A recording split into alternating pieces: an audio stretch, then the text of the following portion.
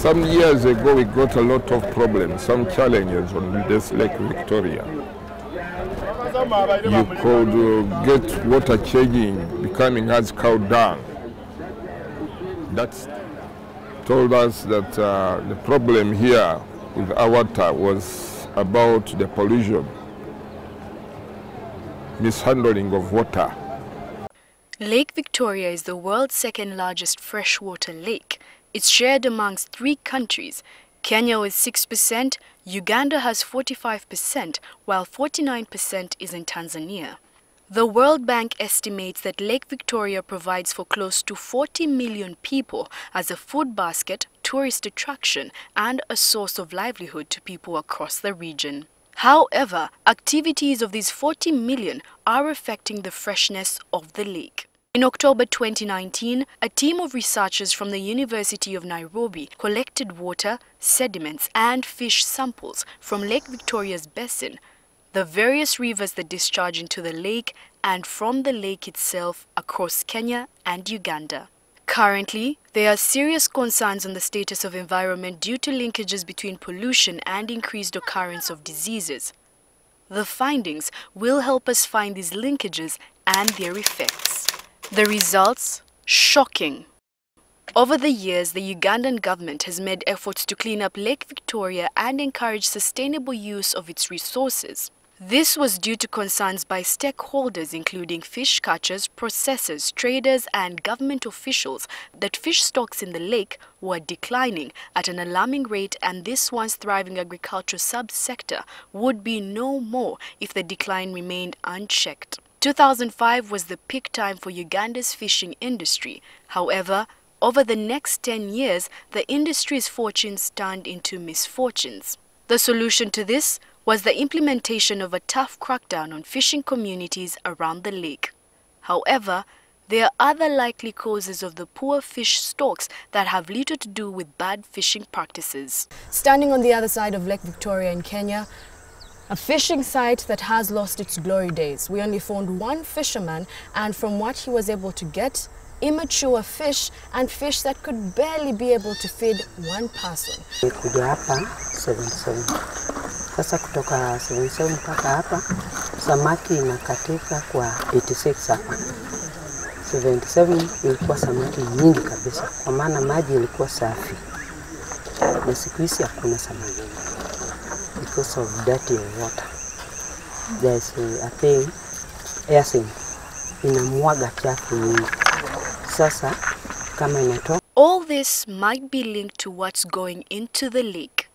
A visit to River Kagera, the largest river flowing into Lake Victoria, whose mouth is on the lake's western shore in Uganda, revealed how human waste makes its way into the lake's basin. Communities along the banks of the river in Chotera district revealed that it was common for fecal matter to be washed into the lake because there were no toilets in the area. Obuchafu bungi nnyo abantu bakyapa mabbi ne bamukasuka ku buveera ne bamukasuka mu midumo kwega ne maato bakyapamamu tulina selos kumi n'emu nga tawuni kanso tulinamu tooyi ziri ssatu tooyi ezo obatuuka obudde bw'enkuba bata obubi ne buyingira mu mazzi While there was no immediate evidence of direct waste discharge into the lake by industries in Kampala and Jinja, there still remained concerns about the contribution of industrial waste to Lake Victoria's pollution. In order to get a sense of the levels of pollution, water samples were collected from different points at which tributaries join the lake. Other samples were taken from deep into the lake, while further samples were taken from exit points like the source of the Nile in Jinja and other sites like Masese Landing Site in Jinja, the Nakivubo Channel in Kampala, and from different points in Kenya. So we will test the water for microbial contamination that of course will be coming from uh, a sewer, untreated sewer or directed uh, discharge. The results revealed a high presence of certain bacteria that indicate microbiological contamination, a lot of which could be traced to fecal matter. 23 of the 25 water samples, 92%, had microbiological elements, while some were harmless. Many of them had pathogens that could potentially cause health problems if ingested by humans.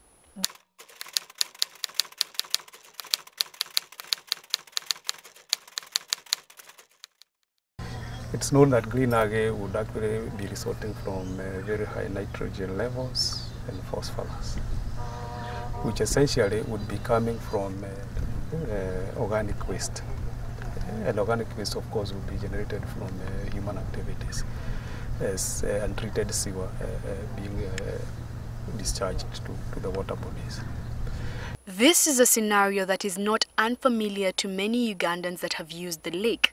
The high levels of pollution also impact the provision of clean water to the people around the lake. According to Andrew Muhwezi, the senior manager of water production at the National Water and Sewerage Corporation, microbiological pollution is the biggest problem they have to deal with when it comes to treatment of the water supplied in the greater Kampala region. The biggest pollutant is what we call algae. You'll see a green coloration on the lake. Due to the destruction of wetlands in a bid to reclaim them for settlements, much of what could have been filtered by nature now makes its way into the lake. All over the whole city, water is running into the lake. Now, the natural filter, the wetlands were helping to filter this waste because they have that capability. Now, with settlements, if you go around the lake, you'll see that a lot of destruction of the wetland has been has taken place. And certainly this is the bringing in what you can call fertilizers.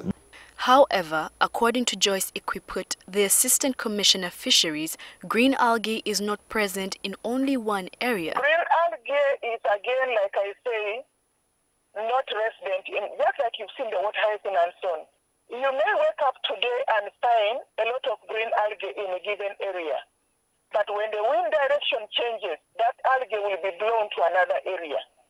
In Kisumu, Lake Victoria is covered with green algae as a result of human activities over time. From the different tributaries visited, there was evidence of waste being directly discharged into the rivers from industries and human activities.